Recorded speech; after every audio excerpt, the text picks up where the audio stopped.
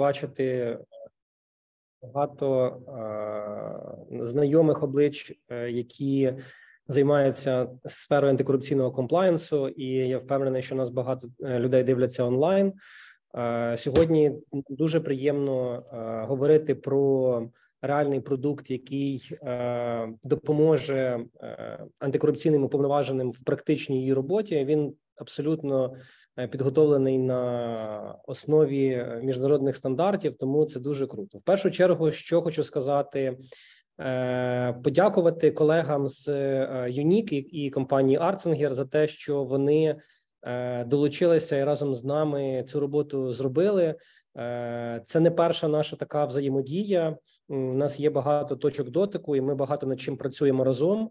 Е, і це класно, що ми спільними зусиллями, як з боку державного органу, так з боку приватного сектору і громадських організацій, які в цій сфері, скажімо так, дуже спеціалізовано займаються розбудовою антикорупційного комплаєнсу. Спільно працюємо над е, матеріалами для того, щоб у нас в Україні був єдиний підхід, е, заснований на як і українських практиках, так і міжнародних практиках. Тому колегам я дуже дякую е, і за роботу, і за залученість, і за залученість сьогоднішній захід. Я впевнений, що сьогодні будуть запитання, на які ми разом з вами будемо відповідати. Ну і в тому числі я дуже сподіваюся на подальшу роботу. Наостанок хочу сказати, колеги, що е, наш сьогодні такий практичний гайд. Він е, це не єдиний продукт, який ми плануємо випускати навіть в цьому році. В нас вже фактично завершилась робота над ще одною роботою і методичними рекомендаціями щодо перевірки контрагентів. І ми, я думаю, до кінця грудня так само цей продукт е, будемо вам презентувати. Ось тому будемо з вами на зв'язку, і ми плануємо. Е, послідовно е, допомагати вам і е, напрацьовувати як методичні рекомендації, так і реальні практичні інструменти, які допоможуть нам всім в роботі з антикорупційним комплаєнсом. Тому всім дуже дякую за залученість, і я сподіваюся, що буде сьогодні так само цікаво. Е, дякуємо Сергію. А я передаю слово нашій наступній спікерці. Е, це радниця юридичної компанії Арцінгер і також експертка е, всеукраїнської мережі доброчесності і. Це Євгенія Очередько. Євгенія, будь ласка. Вам слово дякую, дя, дякую, дякую, колеги. Від імені всеукраїнської мережі доброчесності та комплаєнсу та від адвокатського об'єднання Арсенгер. Я щиро дякую НАЗК та антикорупційній ініціативі ЄС і UACI за можливість поділитися досвідом та долучитися до розробки таких важливих рекомендацій. Як правильно сказав Сергій, дійсно наші рекомендації вони враховують не лише підходи українського законодавства, хоча, звісно, в першу чергу вони базуються саме на українському українському законодавстві, але ж при розробці цього документу ми враховували також кращі міжнародні практики, зокрема рекомендацію ОСР, практику застосування антикорупційного законодавства США, країн ЄС, інших антикорупційних ініціатив та інституцій. Тому вони є значно ширшими ніж те, що передбачено законодавством. Ми також враховували е, наш практичний досвід в в різноманітних антикорупційних проєктах. І із досвіду, ну і фактично, ми розуміємо, що кожний корупційний злочин та кожне корупційне правопорушення вони здійснюються не якимись абстрактними компаніями чи організаціями, вони здійснюються конкретними людьми. І чим більше у таких людей є влади, чим більше у них є простору для якихось зловживань, тим більше і ризиків власне таких зловживань. І відповідно будь-яка ризик мінімізація вона повинна бути спрямована саме на роботу з конкретними людьми і відбір власне призначення конкретних людей на конкретні посади. Це ну фактично ключовий крок в побудові дійсно ефективної комплаєнс антикорупційної системи в організації. Ну відповідно, ми переконані, що наші рекомендації допоможуть і уповноваженим, і HR, і керівникам допускатися менше помилок при наймні та призначенні співробітників на ризиковані посади. Ну і як результат, ми віримо і сподіваємося, що це дійсно позитивно вплине на розбудову е, комплеєнтного середовища в Україні і е, на боротьбу з корупцією в Україні. Дякую, дякую дуже. Е, дякую вам, Євгенія. І до вітальних слів також е, хочу запросити заступницю голови е, антикорупційної ініціативи ЄС Ірину Шиву. Ірино, ви з нами підключайтеся. Так, доброго дня, колеги. Вітаю всіх учасників та учасниць цього заходу. Від імені антикорупційної ініціативи ЄС я б хотіла висловити подяку колегам, партнерам, які працювали над цими рекомендаціями. Всеукраїнська мережа доброчесності та комплайнсу давно є для антикорупційної ініціативи важливим партнером у у питаннях розбудови доброчесності бізнес-спільноти.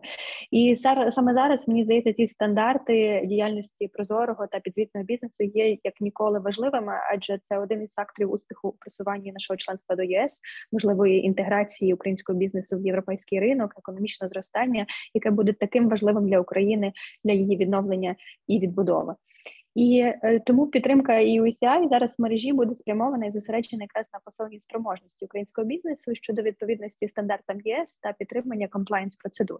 НАЗК, звичайно, також є одним із давніх і ключових партнерів ініціативи у попередженні корупції. І Ми раді, що між двома інституціями є така чудова синергія і співпраця, про яку згадував мій колега Сергій Деркач.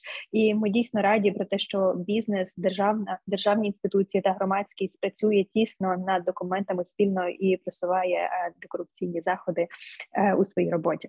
Наступного року разом з НАЗК ми зосередимося на сприянні е, реалізації національної антикорупційної стратегії і державної програми до неї. І методичні рекомендації це лише що будуть презентувати сьогодні один із численних наших напрямків у цьому е, у цьому у цій сфері. І ми сподіваємося, що будемо також і далі активно підтримувати як і НАЗК, так і ЗНІК попри усі виклики, якими сьогодні стикається Україна і українці.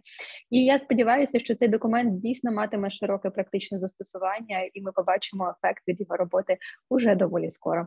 Дякую вам ще раз за вашу роботу і бажаю продуктивної дискусії сьогодні. Всім безпечного дня.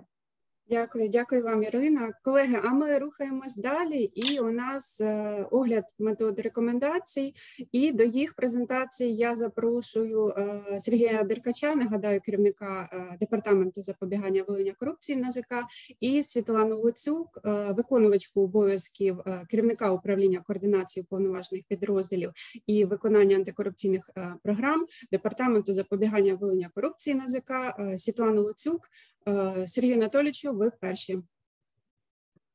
Е, дякую, Ульяно. Е, колеги. Ну що, будемо переходити вже безпосередньо до роботи разом з вами над таким нашим документом, методичними рекомендаціями. Цікава тема щодо перевірки кандидатів на посаду. І вона продиктована знову ж таки, як сьогодні колеги вже сказали, як і українськими практиками, так і міжнародними. Е, ось е, в першу чергу хочеться сказати, що е, на початку цього року НАЗК затвердило типову антикорупційну програму юридичної особи, і саме вона встановлює такі базові рамки для того, щоб дати зрозуміти, як організація має сформувати антикорупційну програму, які з якою з якими скажімо, сферами в цій роботі повинен повинен працювати антикорупційний уповноважений. І саме в типовій антикорупційній програмі е, є глава е, сьома е, в розділі запобігання корупції, яка якраз говорить саме про перевірку кандидатів на посади. Тому якраз для того, щоб забезпечити виконання типової антикорупційної програми для тих організацій, які мають це зробити відповідно до закону. А це ті компанії, які мають е, які записані, скажімо, мають відповідати частині 2 статті 62 закону України про запобігання корупції. Е, для них це, скажімо так, обов'язкова історія, але е, в принципі ці методичні рекомендації вони можуть застосовуватися для перевірки кандидатів як і всіма державними органами, органами місцевого самоврядування, і в принципі всіма компаніями, як і державного, так і приватного сектору, е, тому що вони в принципі уніфіковані. Що стосується самих методичних рекомендацій, то це такий, скажімо, практичний гайд, в якому ми е, намагалися дати і алгоритми, і інструменти е, проведення такої перевірки. Ми хочемо сказати в першу чергу, що а можна слайдик назад ще одну секундочку. Супер, е, що ці е, якраз методичні рекомендації вони є комплементарними до норм українського законодавства. Е, вони мають інформаційно роз'яснювальний характер та не встановлюють правових норм, але що хочеться сказати, що вони розраховані для використання у роботі саме особами відповідальними за реалізацію антикорупційних програм в юридичних особах. Е, і якщо говорити про закон про запобігання корупції, то це уповноважені з реалізації антикорупційної програми. Якщо говорити про приватний сектор, це можуть бути комплаєнс офіцери або працівники, е, на яких покладені обов'язки з роботою запобіганням корупції в конкретній організації.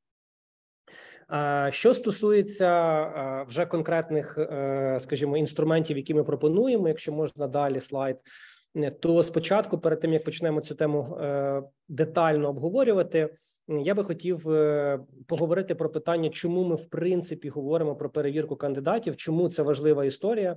І сьогодні вже е, я і колеги говорили про міжнародний досвід. Я хочу вам показати слайд з одного з міжнародних досліджень, які говорять про які в якому було оцінено роботу Е, в компаніях е, більше ніж 150 компаній з різних країн світу е, були проаналізовані, і це ті компанії, які зазнали шахрайства під час своєї роботи. Так ось в аналізі цих компаній було встановлено, що серед цих компаній 57% компаній проводили перевірку кандидатів, а 43% не проводили взагалі перевірку кандидатів на посаду. Причому в тих компаніях, де були е, із цих 57%, де були проведені перевірки кандидатів на посаду англійською, це звучить як background check, е, Там були виявлені ризики. Ви бачите, що в 21% були виявлені ризики, але все одно ці люди, які були навіть з ризиками, вони були призначені на посаду. Це конкретно що стосується людей, які були залучені, які вчиняли правопорушення всередині своєї компанії. Якщо можна далі.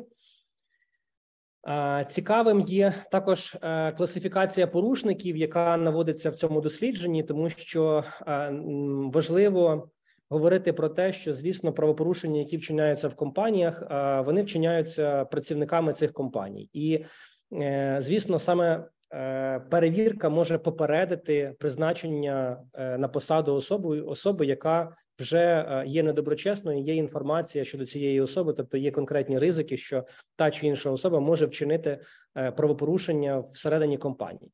Якщо ви бачите за цікава інформація за у розрізі саме посади, ви бачите, що звісно Е, керівники і топ-керівники це ті е, особи, які знаходяться під найбільшим ризиком, і це ті посади, де зазвичай е, компанія втрачає найбільше коштів, якщо саме ці посадові особи вчиняють правопорушень.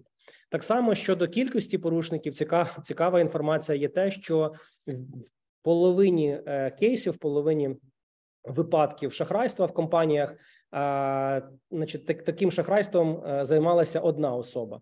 І 38% також важливо зазначити, що займалася вже група осіб, навіть не дві людини, а набагато більше. Тобто, це вже така, скажімо так, е, е, планова робота якоїсь групи осіб в компанії. Вона зазвичай тривала досить. Тому дуже важлива саме робота антикорупційних уповноважених саме на попередження призначення таких осіб в компанії. Ну і останній е, слайд щодо е, такої цікавої інформації, якщо можна, наступний, який говорить про е, втрати за віком. Ви бачите, що чим вищий вік посадової особи, тим зростає відповідно і посада зазвичай. І відповідно це ті втрати, які приносять особи компаній. Ви можете бачити, що це що втрати доходять е, до майже мільйона доларів від е, однієї людини. Це середня е, середні такі статистичні показники, які були визначені і надані в дослідженні. Говорячи далі, вже переходимо до наших методичних рекомендацій. І яка ж мета антикорупційної перевірки кандидата на посаду? Ну, ми визначили основних три завдання: це перше встановити, чи не викликає е, укладення трудового договору корупційних ризиків. Друге це встановити, чи укладення трудового договору не порушуватиме антикорупційне законодавство. І третє це переконатися, що кандидат зобов'язується дотримуватись вимог програми та інших внутрішніх документів документів компанії з питань запобігання корупції. Е, це важливо розуміти під час, скажімо так, розроблення внутрішніх документів, оскільки саме е, розроблення внутрішніх документів буде однією з важливих аспектів якісної роботи з перевіркою е, кандидатів на посаду. Якщо можна, наступний слайд. Ми в наших методичних рекомендаціях з колегами намагалися досить детально е, пояснити кроки, як налаштувати процес перевірок, щоб він не виникав е, зайвих питань, і вам було зручно е, користуватися цим цим цією нашою публікацією. Тому ми передбачили такий порядок, скажімо так, перевірки кандидатів. Перше, це потрібно встановити перелік посад, які вразливі до корупційних ризиків, детально про деякі кроки з того, що я зараз буду називати, буде говорити Світлана сьогодні. Сьогодні в презентації, але я зараз озвучу, е, хоча би коротко загальні питання щодо е, перевірки перевірки кандидатів. Отже, перше це перелік посад. І Тут знову ж таки дуже важливо про те, що я сказав вже раніше. Навіть міжнародні дослідження говорять, що є певні категорії посад, які є найбільш ризиковані і які приносять найбільші втрати компанії. Тому потрібно однозначно завчасно їх визначити і е, перевір обов'язково проводити перевірку кандидатів, які йдуть на ці посади. Алгоритм взаємодії уповноваженого зі службов зі службовою особою управління персоналом. Тут теж дуже важлива історія про те, що е, тут має бути синергія підрозділів в організації, тому що е, зазвичай набором кандидатів займається підрозділ HR, і тому дуже така тісна співпраця і довірлива співпраця уповноваженого з підрозділом кадрів. Він вона є обов'язковою для якісної роботи з перевірки з перевірки кандидатів. Строки е, тут важливо так само встановити строки. Щодо е, обміну інформацією, наприклад, е, ми пропонуємо, що в якийсь конкретний період часу, період часу, наприклад, десятиденний термін, умовно, після того як HR направляє запит уповноваженому, уповноважений повинен провести перевірку і надати відповідні матеріали як висновок цієї перевірки Е, саме е, відділу HR та керівнику. Е, перелік інформації необхідної від кандидата на посаду і способи її отримання. Тут важливо теж все прописати завчасно для того, щоб е, ця процедура була прозорою, е, вона була зрозумілою для кандидата з самого початку. Е, вона однозначно мала відповідати законодавству України, і знову ж таки вона мала відповідати тим викликам, які зараз є у нас в країні. Наприклад, говорячи про перевірку в реєстрі корупціонерів. Зараз реєстр закритий через війну, тому кандидата. Ми е, змушені просити кандидата, щоб він особисто брав довідку в реєстрі е, корупціонерів, тому що саме тільки особа сама може взяти цей витяг і надавав їй до конкретної компанії, тому що раніше цю інформацію можна було перевірити і працівникам компанії, але зараз реєстр закритий. Тому тут треба теж е, зважати на ті зміни, які відбуваються в країні, для того, щоб чітко сформувати перелік інформації, який кандидат має надати. Перелік джерел інформації, які може використовувати уповноважений для здійснення перевірки, е, ми досить якісно і е, широко е, передивилися всі інструменти, які уповноважений може бути може використовувати. Звісно, це не виключний перелік, їх може бути набагато більше, але ми в наших методичних рекомендаціях вказали навіть з лінками конкретні ресурси, які уповноважений може перевірити, яку інформацію він може там знайти. Світлана про це детальніше сьогодні розкаже. Способи отримання інформації, які не можуть використовуватися, тут теж треба однозначно прописати, тому що в нас є і е, заборони, які встановлені в законодавстві України про те, яку інформацію не можна витребовувати від е, і вимагати від кандидата щодо, наприклад, там партійної національної приналежності, і е, іншої інформації. Так само не можна використовувати е, заборонені законом заходи збору інформації, стеження і так далі. Тому це теж дуже важливо прописати, щоб потім всім було зрозуміло, як правильно ця перевірка проводиться.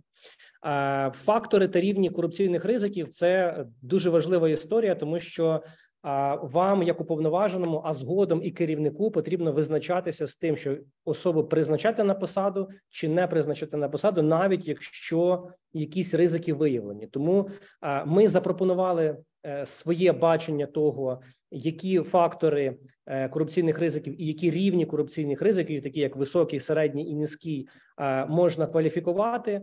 Е, і як правильно, скажімо так, їх е, оцінювати і записувати висновок для того, щоб керівник мог міг е, набагато легше прийняти рішення, і йому було набагато зрозуміліше і легше приймати рішення щодо конкретного кандидата. Про що я вже говорив? Про висновок, так тому як е, фіналізація цієї перевірки уповноважений, бо комплаєнс офіцер має підготувати висновок, і тут теж треба саме в порядку перевірки кандидатів встановити, як цей висновок має виглядати. Він має бути, наприклад, письмовий, в якій формі. Ми навіть а, в даних методичних рекомендаціях пропонуємо форму щодо а, конкретного висновку. І далі, ось у нас пункт також е, зразок. Пропонуємо анкети для кандидата на посаду для того, щоб вам було легше орієнтуватися і легше і легше працювати з матеріалами. Звісно, ці методичні рекомендації, як я вже сказав на самому початку, є. І мають інформаційний характер, і ви можете їх доповнювати, можете працювати з іншими джерелами, можете удосконалювати анкету. Ми будемо вам дуже вдячні за зворотній зв'язок по по використанню використанню цих методичних рекомендацій, і ми так само, як і ви вчимося, ми будемо раді їх е, разом з вами покращити. Е, колеги, від мене це такий загальний вступ щодо того, про що ми сьогодні будемо говорити, про що напрацьовані наші методичні рекомендації, і що саме має бути в порядку перевірки кандидатів на посад. Далі конкретно вже по крокам. Я передаю слово Світлані, яка розкаже і про перелік посад, і про ресурси, і про е, конкретні інструменти, які можуть бути використані в е, перевірці в перевірці кандидатів.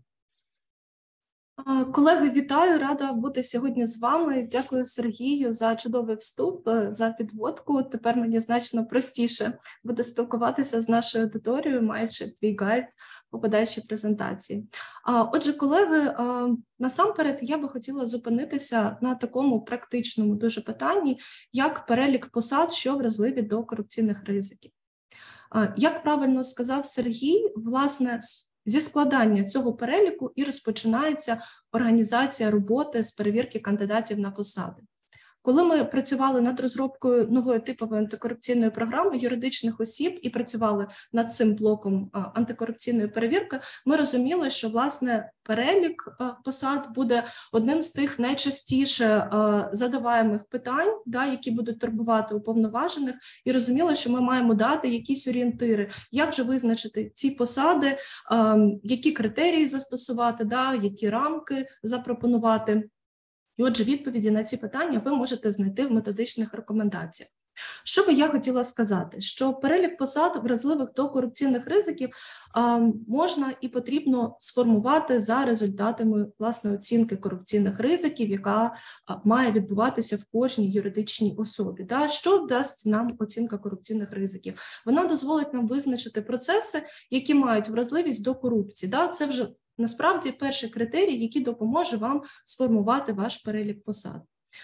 Друге, ем, що я мушу зараз сказати, да, і власне я думаю, що кожен з вас з цим погодиться, не можна на рівні методичних рекомендацій або взагалі там на рівні держави визначити фіксований перелік таких посад, тому що ми розуміємо, кожна компанія є особливою, кожна компанія має свою специфіку діяльності, свої особливості, і власне те, який перелік сформується саме в вашій компанії, від цих аспектів і залежить. Але ми спробували все ж таки надати в наших методичних рекомендаціях 12 груп посад, які можуть, на нашу думку, бути вразливими до корупційних ризиків. І хочу сказати, що наші рекомендації ґрунтуються власне на розумінні, які ж типові ризики або які процеси в організації да, найтиповіше можуть бути вразливими до корупційних зловживань різного роду шахрайства і недоброчесності. Ми в основу наших, е, нашого переліку поклали власне два критерії. Перший критерій це рівень посади в ієрархічній структурі організації. Власне, ми вважаємо, що в переліку посад мають бути ем, е, кандидат посади, е, які належать до керівних посад в організаційній структурі. Другий критерій, яким ми керувалися, це власне функціональне навантаження на посаду. Да? Власне, той перелік обов'язків і повноважень, які буде реалізовувати потенційний кандидат, да, з якими можуть асоціюватися корупційні ризики. Я зараз не ставлю за мету перерахувати всі ці 12 рекомендацій до посад, які ми навели в наших рекомендаціях. Зупинюся лише на деяких з них, які, як мені видається, найбільш типовими є да, і легко буде сприйняти зараз на слухах. Перша посада або перший функціонал, який може асоціюватися на посаді з корупційними ризиками, це звичайно комунікація з органами державної влади, органами місцевого самоврядування, зокрема в питаннях утримання дозвільних документів, в питаннях проведення перевірок і так далі. Будь-яка комунікація, яка впливає на діяльність організації, якщо людина її здійснює за посадою, може бути вразлива до корупційних ризиків. Отже, за цим критерієм ми пропонуємо посади додавати до переліку. Друга специфіка по функціоналу, яка може бути вразлива до корупції, це розпорядження та управління коштами або активами компанії. Наступний критерій це підбір підрядників або постачальників прийняття виконання е, виконаних робіт е, поставлених товарів або наданих послуг. Якщо людина має одноосібні повноваження підписувати умовно акти виконання робіт та акти приймання передачі товарів, звичайно, така людина може е, в певних моментах, якщо в неї є певний свій е, приватний інтерес, да, вчиняти е, дії і підписувати такі документи, засвідчувати факт виконання договорів да, з певними відхиленнями від нормальних процедур, реалізовуючи таким чином корупцію корупційні ризики. Тому ми вважаємо, що такі повноваження за посадою можуть віднести посаду до категорії ризикованих. Із наступних е, критеріїв ми би звернули увагу на повноваження по здійсненню претензійно-позовної роботи, по здійсненню внутрішніх або зовнішніх перевірок. До такої групи умовно посад може належати посади внутрішнього аудитора в компанії, посади працівників, е, керівників е, внутрішньої безпеки, посади працівників, які проводять перевірки як всередині умовного апарату компанії, так і структурних підрозділів компанії. Ну і теж варто згадати такий критерій функціональний, функціональний як прийняття рішень щодо участі у закупівлях, насамперед публічних, комунікація з замовник, представниками замовника публічних закупівель і все, що пов'язано з прийняттям рішень в межах здійснення публічних закупівель. Будь ласка, наступний слайд. Після того, колеги, як у вас вже є сформований і затверджений дороговказ щодо того, які ж посади можуть бути потенційно вразливими до корупційних ризиків, ми маємо визначитися, а які власне фактори корупційних ризиків можуть вказувати на те, що та чи інша людина, якщо вона буде призначена на цю посаду, неважливо, це нова людина для вашої компанії, да, або це людина, яка буде переведена на посаду вразливу до корупційних ризиків, може надалі, якщо вона буде виконувати повноваження на цій посаді, спричиняти якісь певні корупційні ризики, да, або, скажімо, мати питання доброчесності, реалізовуючи повноваження на цій посаді. В наших методичних рекомендаціях ми запропонували вісім типових, на наш погляд, факторів таких ризиків. І крім того, надали певні рекомендації щодо того, яким чином можна ідентифікувати наявність чи відсутність таких ризиків і проскрініти кандидата. Що я би хотіла сказати? Да, В основу критеріїв, які ми брали до уваги, коли визначали типові фактори корупційних ризиків, увійшли власне такі критерії. Перше, ми намагалися сфокусуватися на тих факторах, які можуть вказувати на ознаки особистої недоброчесності, да, або наявності сумнівів щодо доброчесності, і коли ж там репутації кандидата на посаду його як його особисто особистий да, такий маркер. Другий критерій, який ми брали за основу, це власне вимоги нашого антикорупційного законодавства. Адже, як вам відомо, в нашому законі України про запобігання корупції і інших законодавчих актах містяться прямі заборони щодо заняття тих чи інших посад в компаніях. Ну, наприклад, всім відома стаття 26 закону України про запобігання корупції, яка забороняє певним особам, які умовно на протязі року до призначення на посади здійснювали контроль або приймали рішення щодо діяльності компанії, да, обіймати посади в цих компаніях. Або умовно є критерій, за яким не може бути призначено на посаду людину, якщо щодо неї є судове рішення, яким вона позбавляється на певний період права обіймати. Ем, певні посади да, або займатися певною діяльністю. Тому такі критерії заборони, встановлені на рівні законодавства, також були взяті до уваги при формуванні типових факторів ризиків. Ну і третій, скажімо, останній факт, е, останній критерій, який покладений в основу типових факторів ризиків, це фактор потенційного конфлікту інтересів, який може виникнути у особи у зв'язку з тим, що вона має певних близьких осіб і призначення на посаду за наявності таких близьких осіб, може в подальшому десь стимулювати або спонукати таку особу, надати перевагу певним приватним своїм інтересам е, в конфлікті відповідно з тими повноваженнями, які вона може реалізовувати на своїй посаді.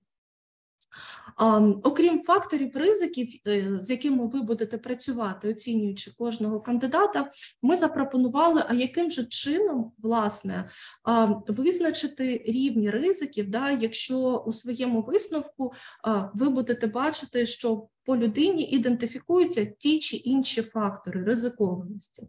Ми запропонували в наших методичних рекомендаціях теплокарту, яка на класичному підході ґрунтується з рівнями ризиків від високого до низького, і запропонували в методичних рекомендаціях, скажімо, ті критерії, за якими ви можете оцінити кандидата. Ну, наприклад, як ви можете бачити на презентації, високий рівень ризику ми пропонуємо присвоїти, якщо по кандидату е, спрацьовують одночасно три чи більше факторів ризиків із тих, яких ви пропишете в своїх внутрішніх документах. Ми посилалися на наші типові фактори ризиків, можете їх також використовувати і брати за основу. Наступний критерій високого рівня ризику це наявність певних конкретних факторів.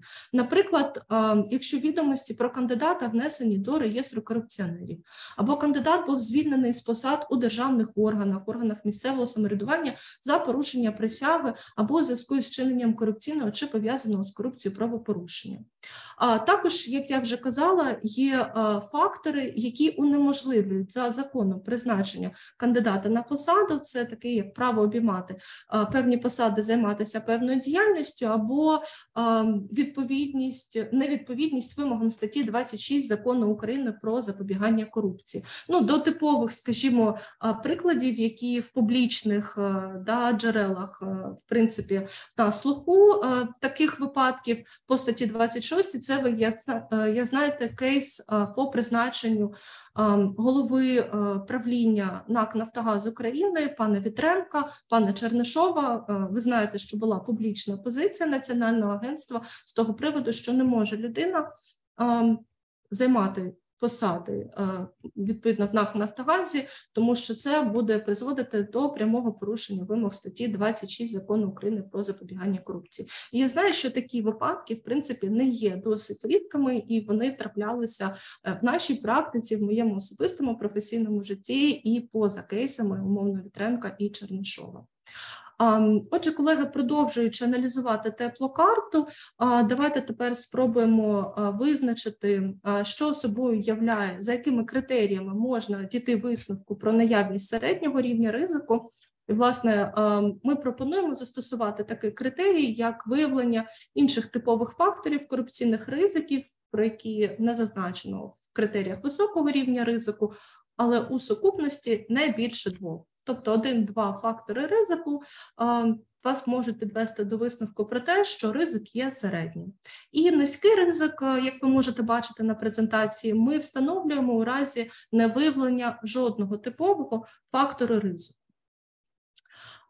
Що хочеться тут сказати, колеги? Що після того, як ви проскріните кандидата, да, визначитися для себе з приводу того, чи виникають ризики при призначенні на посаді, чи призведе призначення кандидата на посаду до е, порушення вимог закону України, ви маєте обов'язково скласти, як вже казав Сергій, обґрунтований висновок для вашого керівника. Що е, хочеться тут застерігти або в якому контексті проаналізувати ситуацію? Ми маємо розуміти, що наявність ризиків, навіть високих ризиків, не завжди е, має призводити до відмови кандидату в призначення на посаду. У нас діє законодавство про працю, яке забороняє необґрунтоване призначення на посаду, і тут треба бути досить обережним, да? адже. Е, чітко є вимоги не призначати на посаду там умовно в випадках, коли порушення статті 26 відбудеться закону про запобігання корупції, або коли кандидата позбавлено судовим рішенням права займати певні посади. Однак немає такої ясності да, і категоричності в законодавстві щодо інших рівнів ризики або інших факторів ризику. І в цьому контексті хочеться зазнати, що роль уповноваженого, коли він бачить такі ризики, по-перше, інформувати свого керівника, керівництво компанії про те, що така історія існує, і керівник, призначаючи кандидата на посаду, має бути свідомим того, що з певним кандидатом асоціюються да, певні історії, але в той же час уповноважений може і має дати рекомендації керівникові, да, що робити, якщо виявлені такі ризики. На цьому ми зупинимося трошки далі. Які ж рекомендації можуть бути? Отже, колеги, в наших методичних рекомендаціях ми також розуміли, що треба дати відповідь на питання, а які ж е, джерела інформації використовувати при перевірці кандидатів на посади, і запропонували вам дві групи джерел. Зараз на екрані ви бачите на слайді перелік тих відомостей у відкритому доступі, які, на наш погляд, можуть становити групу основних джерел інформації. Це, е, як ви бачите, е, інформація, яка генерується і розміщується в публічному доступі органами державної влади. Коли ми формували методичні рекомендації, ми хотіли і прагнули да, дати вам ті рекомендації, які ви можете використовувати як універсальні, та й працювати з ними в щоденному житті не лише там в період дії воєнного стану, а й в мирний час, да, коли в нашій країні вже ситуація налагодиться, і ми повернемося до мирного життя. А водночас ми розуміємо, що зараз в умовах дії правового режиму воєнного стану не всі, на жаль, джерела інформації, особливо ті, які генеруються державними органами, є в публічному доступі. Звичайно, це ускладнить вам роботу. Звичайно, цієї інформації буде бракувати, тому тут е, можна буде покладатися лише на те, що ви можете запропонувати, але не зобов'язати кандидата, да, самостійно дати вам певну інформацію. А, Можете направити запити в державні органи, але, ну, наприклад, якщо йдеться про реєстр корупціонерів, так званий, то а, умовно запит до НАЗК тут вам нічим не допоможе, тому що НАЗК а, не зможе вам надати таку інформацію в умовах дії воєнного стану. Тому, а, колеги, доведеться покладатися ще на неосновні джерела інформації. Якщо можна, наступний слайд, будь ласка. Ми запропонували вісім таких джерел інформації. Частина з них е, адмініструється приватними компаніями, і ви теж про них знаєте. А частина вона доступна на державних е, сайтах, е, державних джерелах. А частина інформації може бути вами знайдена в соціальних мережах, просто загальнодоступних інших джерелах інформації.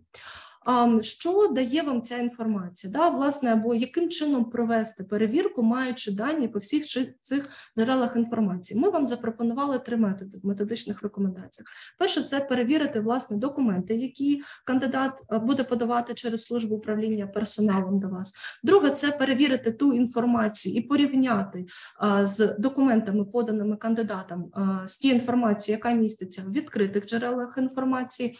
І третій метод, е, можна провести перевірку кандидата на посади, це власне інтерв'ю з кандидатом або інтерв'ю з е, представниками тих компаній, в яких е, кандидат раніше працював, або тих компаній, там учасником або кінцевим бенефіціарним власником, яких є кандидат.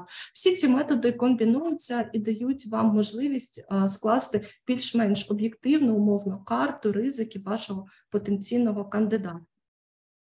А, Наступний слайд. Будь ласка. Угу.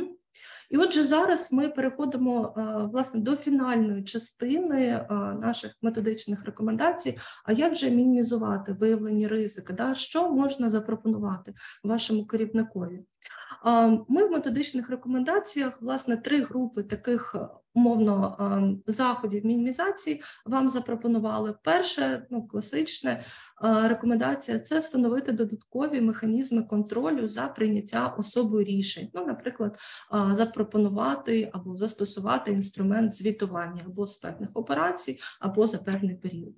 А друга рекомендація, яка може бути реалізована, це вивести частину функціоналу з під контролю особи. Знову ж таки, звернемо увагу, що мова е, йдеться лише про ту частину функціоналу, яка після призначення кандидата на посади буде потрапляти під ризики через потенційний конфлікт інтересів. Третя рекомендація як третю рекомендацію, ми пропонуємо включити до трудового договору додаткові підстави звільнення. Це якщо кандидат наймається на посаду, за якою трудовим законодавством дозволено подати такий вид трудових договорів як контракт. Колеги, я думаю, що я в принципі свою частину роботи на сьогодні виконала. Дуже сподіваюся, що я змогла з Сергієм привернути вашу увагу до методичних рекомендацій, да, і власне запропонувати вам використовувати їх в щоденній діяльності, коли ви будете працювати з ризиками найму вашій компанії. Пам'ятаємо, що наша задача з вами будувати доброчесну владу та справедливе суспільство. А ця задача може бути виконана лише за допомогою доброчесних компаній, доброчесних працівників, які поділяють культуру нульової толерантності до корупції і прагнуть наблизити нашу перемогу над ворогом і побудувати сильну і економічно привабливу Україну. Я вам дякую за увагу і передаю слово нашій модераторці Уляні.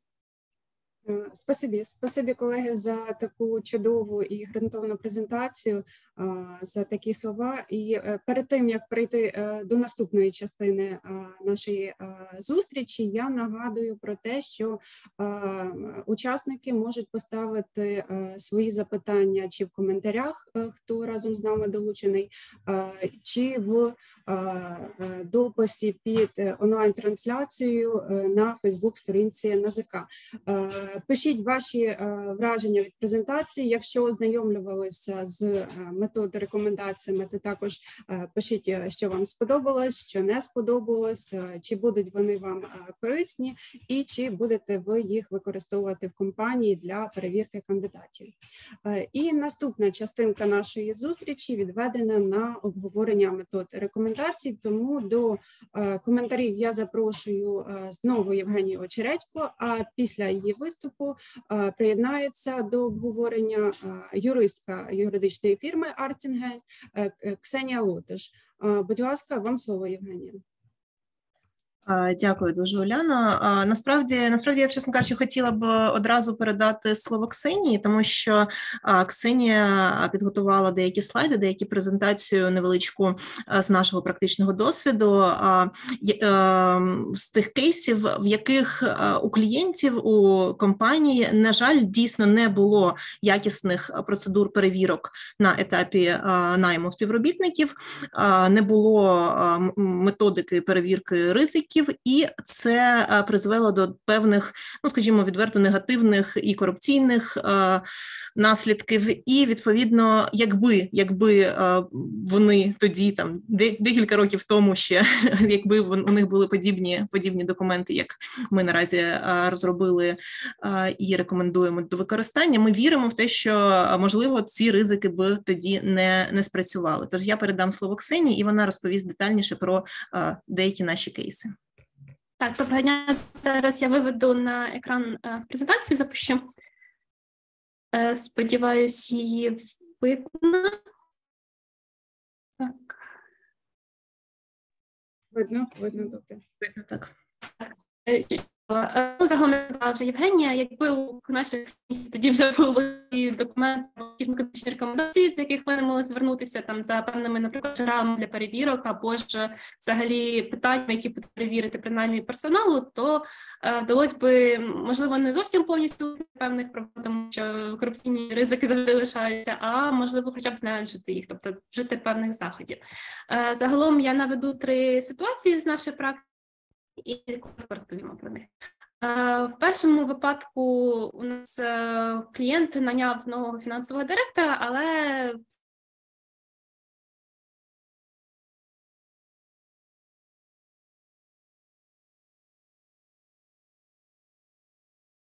Ксенія, Ксенія, ви з нами не чутно вас. Так, Ксенія, я так розумію, що зависла, але на, на щастя, цей слайд а, виведений поки що на Євгенія, я пропоную вам продовжити і сподіваюся, що так Ксенія... поки Ксенія долучиться, а, то а, я я прокоментую цей кейс. А, дійсно була ситуація, коли. А, м- Клієнт найняв нового фінансового директора. Ну тобто, дійсно, топ-менеджерська посада, дуже велика відповідальність, дуже великий вплив на бізнес-діяльність компанії. Але ж при перевірці цього цього потенційного директора не було не було, скажімо так, е, ідентифіковано, що фактично є певний певний потенційний конфлікт. Відповідно, я прошу наступний слайд. Так, дякую щось трошечки слайди.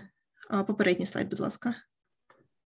А, Так, я тут повернулася, перепрошую, мене вибивало зі зв'язку. Тут я так розумію, Євгенія пояснила про перший сайт. Про а, тільки почала, тільки почала. Так, е, Про історію з фінансовим директором. Так, у нас е, взагалі в кожній ситуації е, була здійснена перевірка, але вона, ну скажімо так, поверхнево, або ж працівник, який перевіряв, не дуже детально вникав в ситуацію з працівниками, не перевіряв, наприклад, афілійованих осіб, як у ситуації в першому прикладі. Тобто, дружина фінансового директора вона мала е, свій власний бізнес. Вона там була також керівником і по суті робила виконувала роботу в тій ж сфері, що і новий роботодавець е, фінансового директора. Е, звісно, якби цей факт було виявлено раніше, то відповідно можна було б якось мітигувати цей ризик, наприклад, передати частину повноважень цього фінансового директора е, іншому працівнику або встановити якісь додаткові механізми контролю щодо нього. Однак е, цього не було здійснено. Поступово певні клієнти і працівники почали переходити до компанії конкурента, де засновником і керівником була дружина. На жаль, це було виявлено доволі пізно, коли вже почалися збитки для роботодавця. Але згодом довелося прощатися з таким фінансовим директором, і вже компанія після того почала задумуватися про більш е, е, кращі методи перевірки, і власне про те, що потрібно впроваджувати відповідні процедури. Е, другий приклад е, теж е, пов'язаний з тим, що не було досить добре проведено перевірку працівника при його наймі, але тут ситуація була дещо інакша. Працівник, який був відповідальний за найм нового від керівника відділу закупок він не перевіряв по державним реєстрам, чи там є кінцевим бенефіціарним власником, директором, засновником інших компаній, е, працівник якого наймають. Е, як виявилось, згодом е, це працівник, новий керівник відділу закупок. Він мав теж власний бізнес. Він був кінцевим бенефіціарним власником, а не прямим засновником і не був керівником в тій компанії, про яку далі йтиме мова. Однак е, ця компанія, де він був кінцевим бенефіціарним власником, по суті, виконувала таку ж роботу, яка могла б знадобитися в якості постачальника для нового роботодавця. Е, ну і відповідно, прийшовши на посаду, новий е, працівник поступово почав перетягувати, скажімо так, ковдру на свою компанію, в якій він як власне має свій інтерес, і таким чином витіснив згодом основних постачальників або ж яких-небудь інших потенційних постачальників ринків, які б були б можливо навіть кращими, мали кращі там, наприклад, е, ціни, якість е, товарів та послуг. Однак е, зв'язок з ними був втрачений через те, що цей керівник. Відділ закупок він відстоював інтереси лише своєї компанії, і відповідно компанія її роботодавець понесла збитки. І коли вже було виявлено цей фактор, то довелося прощатися з працівником. Однак знову ж таки було складно підібрати підставу для звільнення, тому що не було вжито попередньо певних заходів, які б змогли допомогти. Роботодавця, наприклад, е, е, передбачити більш детально в посадових інструкціях е, якісь певні обов'язки, або ж визначити додаткові механізми контролю з цим працівником. Тому виникла така проблема. І третя остання ситуація тут Історія була про те, що працівник, якого наняли на посаду роботодавця, фінансовий менеджер, він мав певну таку історію порушень у попередніх роботодавців, е, які були пов'язані з корупцією. Е, в тому числі в одному з останніх місць роботи цей працівник е, був звільнений за неформальною причиною через те, що ним було вчинено певні такі порушення корупційні пов'язані з корупцією. Однак звільнення було формалізовано за угодою сторін, щоб залегшити процедуру. Ну і відповідно в трудовій книжці, принаймні, цього не було б видно, що працівник був звільнений саме за порушення, оскільки була така нейтральна підстава для звільнення. І побачив. Ну і власне працівник, який наймав нового кандидата на посаду, він не вважав за доцільне, наприклад, поспілкуватися з представниками попередніх місць роботи, щоб дізнатися там характеристику цього працівника, буквально або ж проаналізувати більш детальну інформацію про нього, і відповідно не виявивши жодних таких ризиків, які насправді існували. Працівника прийняли на роботу, а через деякий час він вчинив е, нове порушення вже в цій новій компанії, і що призвело до збитків для роботодавця. Е, тому доволі таки потрібно, на мою думку, впроваджувати відповідні механізми контролю та перевіряти працівників якомога е, краще при наймі на роботу, що власне демонструють ці три приклади, про які я поговорила. Власне, це всі приклади. Зупиню демонстрацію екрану. Е, Власне, і основна моя ідея в тому, чим я що хочу донести цієї презентації, це те, що якби у компанії вже на той момент, коли здійснювався найм персоналу, були відповідні методичні рекомендації, до яких вони могли б звернутися, навіть якщо вони їх не затверджували, там, наприклад, в якості якихось процедур для своєї компанії, а могли б, хоча б звернутися до них, щоб дізнатися про ті джерела інформації, де можна перевірити інформацію про працівників, то це б їм дуже допомогло цьому все. Дякую. Буду рада відповісти на питання, якщо вони є. Дякую, дякую, Ксенія. Дуже було корисно почути про такі е, цікаві кейси. А, Можливо, в пані Євгенії також будуть е, коментарі а, стосовно метод рекомендацій і їхніх застосувань. Ну насправді насправді важливо розуміти, як вже Сергій правильно зазначив, що глобально цей акт має абсолютно рекомендаційний характер. Вони вони є роз'яснювальними інформаційними, тобто вони не є, скажімо, обов'язковими для використання. Але ж зрозуміло, що компанії можуть і повинні, на мій погляд, хотіти зробити їх обов'язковими для застосування безпосередньо в своїй в своїй організації. Тож для того, щоб це зробити, необхідно відповідні правила деталізувати та закріпити саме на рівні положення або порядку про перевірку кандидатів, який буде затверджений або наказом, або іншим чином. Найкращим наказом саме по підприємству в е, в додатках до цього положення або порядку необхідно закріпити власне перелік посад, як вже казали, які вразливі до корупційних ризиків, анкету кандидата і форму висновку за результатами перевірки. Звісно, е, оскільки ми е, є громадянами України і на нас розповсюджується законодавство е, України і державною мовою є українська мова, то і сам документ повинен бути розроблений українською мовою. Може, може допустимим є переклад також на інші мови. Наприклад, якщо деякі співробітники володіють, наприклад, тільки англійською мовою, це буде корисно для того, щоб співробітники були ознайомлені з документом тією мовою, якою вони володіють безпосередньо. От співробітники, звісно ж, повинні бути ознайомлені з цим документом. Бажано, звісно, під підпис особисто або засобами електронного зв'язку. Ну і в правилах внутрішнього трудового розпорядку також необхідно прописати. Також в трудових договорах треба прописати, що існує обов'язок дотримуватися цих порядків для тих суб'єктів, для тих працівників, які безпосередньо користуються цим порядком. І також, звісно, може бути прописаний і ем, ну, загальне положення про те, що там співробітники е, повинні дотримуватися певних правил, процедур, які затверджені належним чином в організації. Але ж е, якщо є можливість деталізувати, що саме цей порядок є обов'язковим, це також е, також варто зробити. Напевно, це ключове з точки зору того, що треба зробити, щоб ці рекомендації, які є рекомендальними загалом, стали обов'язковими для конкретної компанії. Ну і я вважаю, що це дійсно доцільно зробити для того, щоб все ж таки забезпечити належне належне проведення перевірок у ваших організаціях. Дякую, дякую, Євгенія. Е, колеги, я нагадую, що е, можна е, поставити свої запитання у чаті, або у нас трішки залишилось часу на запитання, або підняти руку, хто є учасником зустрічі, або хто дивиться онлайн-трансляцію, задати питання внизу у коментарях. Поки що запитань немає. А є запитання, чи буде презентація у вільному доступі Е, так, організатори повідомляють, що е, після того, е, після того, як буде проведено захід, ми проанонсуємо і дамо посилання на презентацію.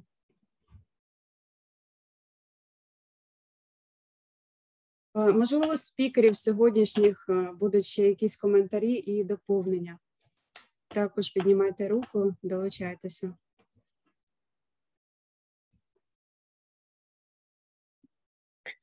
Колеги, я тоді, якщо е, ще в нас немає питань, е, по-перше, хочу ще раз подякувати колегам, які залучались е, до цієї роботи, як і від нашого департаменту запобігання та виявлення корупції НАЗК, так і від колег з Арцінгер і від ЄНІК.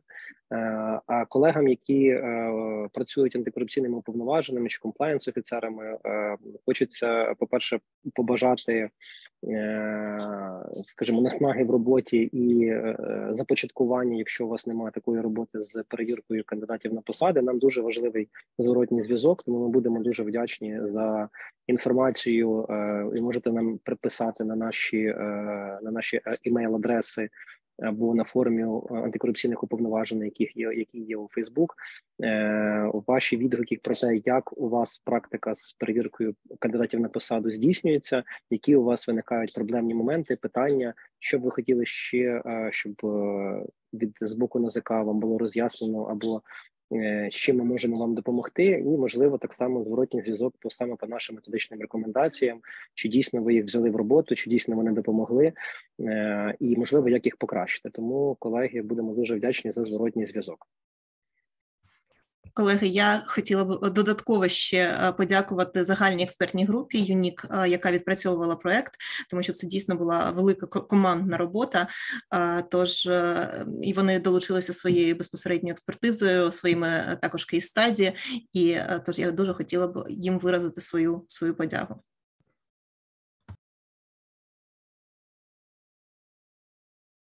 Колеги, я теж вам. Дякую вам. Да, вибач, так, да. Вибачаюсь, Уляна, да, хотілося теж е, сказати пару слів на останок. Я дійсно дуже вдячна нашій експертній групі і за підтримку, і за чудові методичні рекомендації, і за ініціативу власне працювати спільно над цікавими проектами.